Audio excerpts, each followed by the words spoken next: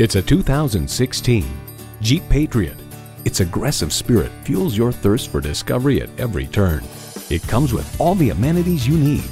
Inline four-cylinder engine, front heated leather bucket seats, wireless audio streaming, auto-dimming rearview mirror, manual tilting steering column, remote engine start, voice activation, express open and close sliding and tilting sunroof. You connect with Bluetooth and power heated mirrors. Motor Trend explains that off-road is where the Patriot separates itself from the rest of the compact crossover set. Its capability was a pleasant surprise. Everywhere you want to go, anything you want to do, Jeep takes you there.